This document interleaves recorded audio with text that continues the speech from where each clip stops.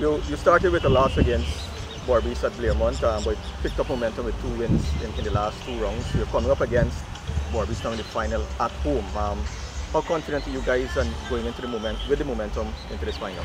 I'm very confident. I mean, we came off with two very good victories. Um, against Berbice, I guess we dropped the ball a bit. You know, having bowled them out very cheaply, and then you know we didn't manage to get the runs. But the batting team has, well, on the batting side of things, you know, we've been getting stronger game by game.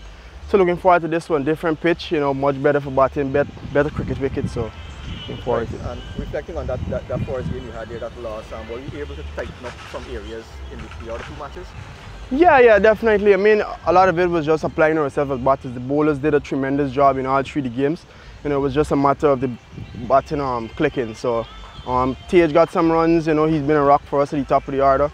And it's just for the, the other guys to bat around him and hopefully some other guys get some scores. Right, you mentioned Tage, um, two half centuries, winning the game there, uh, chasing.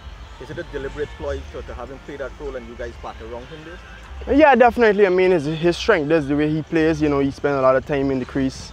Um, so it's, it's really, and the other batters are a bit more free scoring. So it's important to have those um, those type of players in your team and every every piece, you know, fit together.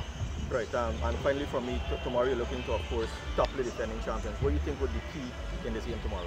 Yeah, well, obviously, um, for the last two to three years, you know, most uh, Guyana bowlers have been coming from Berbice. Um, and we have a lot of Guyana batsmen, you know, national batsmen in our team. So the difference will be, you know, how well we play their bowlers. Uh, three wins on the trot, you're heading into the final with lots of confidence. Yeah, definitely. Um, I think we've been playing some some good cricket for the past three games. I've said that I think the batting hasn't been up to standard, but the bowling has been the, the better for us so far. Right, um, Tevin did mention the batting for Demerara is also a concern. As a senior player, what do you think is the reason for, for these low scores? I think uh, probably application at the crease, uh, you know, is, is fifth over. You still have to spend the time and, you know, once you spend the time at the crease, eventually you'll, you got the runs, you score, it become easier. I think the application is one of the most important thing that lacked most batsmen in this tournament. Right, you've seen Kevin Sinclair do well for, for Berbice. Um, Shepherd got some wickets yesterday, yourself got a five wicket on. It must be good that players are chipping in every game.